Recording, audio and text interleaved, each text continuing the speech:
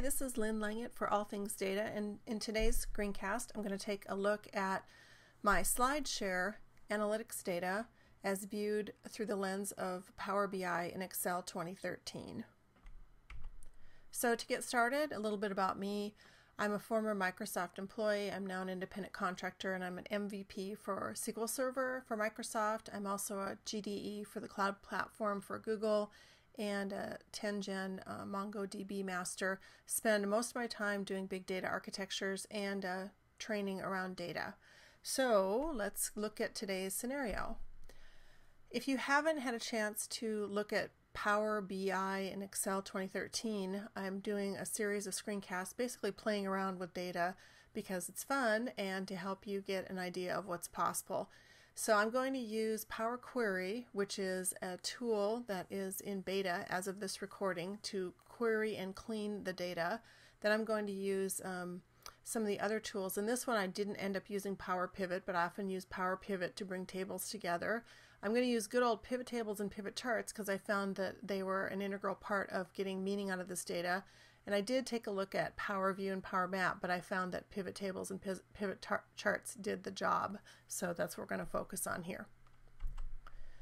So for this scenario, I was having the good luck of having one of my SlideShare decks featured on the front page of, of the SlideShare website. So I wanted to take a deeper look at the impact of that deck being featured on my analytics. I could understand how, if at all, that impacted the views of all my slide decks and just really understand a bit more because although I had looked at the SlideShare data page, I wanted to um, do some more analysis. So um, that was the scenario. So now I'm going to go ahead and cut to the demo and we'll start on that. So as I said, my curiosity was piqued by the fact that I had the good luck that one of my recent uploads to SlideShare was featured on their homepage and I had exponentially more traffic. So I do look occasionally at my SlideShare analytics and they do have some good analytics here. So I'll just show you what that looks like if you use SlideShare. It shows you over a period of time here um, what information is occurring about the decks that you've uploaded. And not only do they show you uh, views, they show you actions and social actions, which was of particular interest in this scenario. So you can see here's the deck that got featured on Hadoop. And then I have, um, you know, countries. And thanks, particularly if you're from India listening to this, to all my Indian uh, viewers, I really appreciate your interest. And you can see my traffic sources and SlideShare actions and social actions. And this is over a one month period.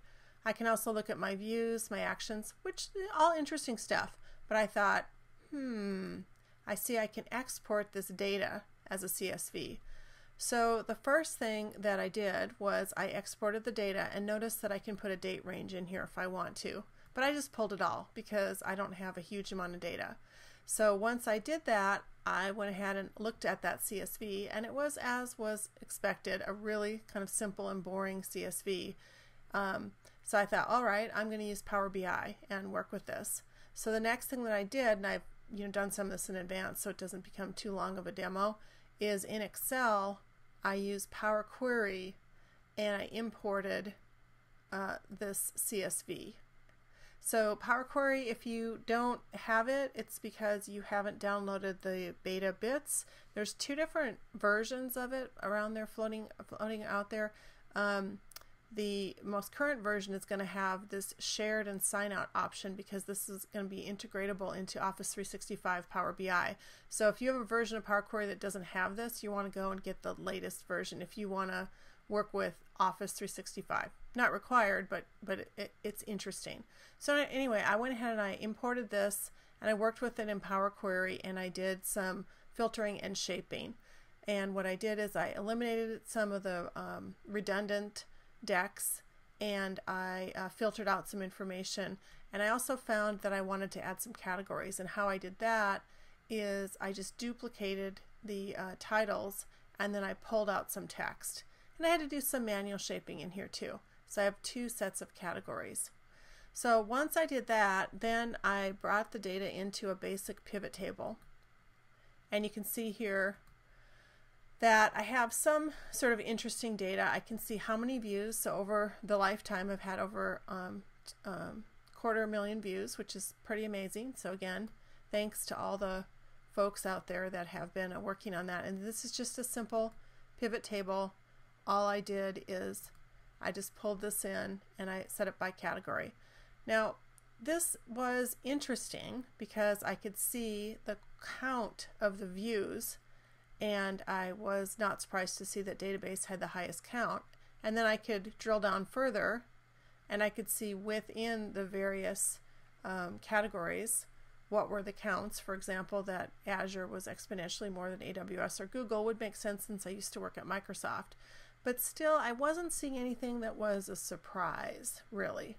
Um, and that's what I really was looking for. So I kept playing around with this data. I kept um, you know, turning some things on in the pivot table and I looked at the data in different ways. So in other words, rather than the sum of the views, I just did some really basic stuff. You know, I could do the count, the average. Also inside of here, of course, you can go show values by percent of grand total, which was really interesting um, as, I, as I went along. So again, just interactively exploring the data, I was looking for an insight that was um, a surprise. And I found one. So I made another pivot table and um, I did percent to total for my main categories and I did this on the views, the downloads, and the tweets. And my expectation is that these things would be roughly equal and I didn't, it, this didn't jump out to me until I made a pivot uh, chart um, or a, a regular chart basically. So one of the things that was kind of amusing and caused me to make this screencast is of my major categories in my slide shares, I have uh, four categories volunteering, developer oriented decks, you know, around programming, cloud, around uh, Azure, AWS, and Google primarily, and then database, which I included um, both the NoSQL and the SQL Server, which might have been a little bit of a stretch. But what I thought was really interesting and I wanted to share with my audience was in exploring the data and visualizing the data, I found that I was roughly a third, a third, a third, a little bit less the volunteering, a little bit more on the database, which would make sense um, in terms of the views. The downloads were very different though. Uh, developers want to take a look at things, don't want to bother to download it. Database people, roughly about the same percentage, download it. In the cloud, they download it more, which is sort of interesting. Uh, would lead me to assume that people are using my decks to um, make their own presentations, which is cool. But the one sort of fun insight that I got out of this is database people love to tweet. so you can see here that it's exponentially more around my database decks on Twitter, which was something I had kind of an insight into just based on Twitter activity, but um, really, really interesting. And this is going to cause me, of course, when I do database related content, whether on SlideShare or other channels like YouTube, to make sure and um, you know, associate it with uh, Twitter. So just kind of an interesting insight and really easy. This took me like a half an hour and not something that I was aware of through the SlideShare analytics. Just using Power Query and in this case pivot tables. Um, I did take a look at Power View, but the visualization was actually stronger, I thought, in this chart. So a fun little exercise for the evening. Grab some of your data and work with um, Excel um, Power BI. Now just to summarize the methods that I used to analyze my SlideShare data is I went to the SlideShare site, the analytics page export, and I uh, set the filter, which was basically no filter. I pulled all my data and it's only allowing a date filter. Then I imported the CSV into Power Query and inside of Power Query I did further filtering and the big thing that I did is I derived um, two levels of categories by copying the presentation titles and then doing a little bit of manual massaging to create um, categories because I just had too many different presentations to group together. So I did the shaping and filtering, filtering in Power Query and then I created the categories within Power Query and in Excel. And then I did several different visualizations using pivot tables and charts to see if there was any interesting insights. And I did get one that, um, and it was of course that the database people tend to uh, tweet more. So, as I'm wrapping this up, I uh, just want to remind everybody that this is the last week of a contest that Microsoft is running to award the top five uh, technical nonprofits um, a uh, portion of $100,000. And Teaching Kids Programming is still on the leaderboard. So, it's a few more days. If you haven't voted yet, now is time. And how you vote for this is you go to azuredevs.com and you vote for us and then confirm your vote. We'd really like to um, partake in this um, donation that Microsoft's making.